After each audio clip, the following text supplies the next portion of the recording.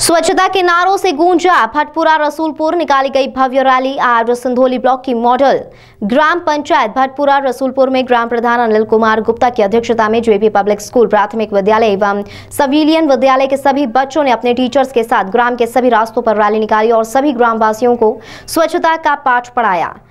कि सौ रोगों की एक दवाई गाँव में रखो सफ़ाई, विकसित हो राष्ट्र हमारा, स्वच्छ हो देश हमारा। न गंदगी करेंगे, न गंदगी करने देंगे।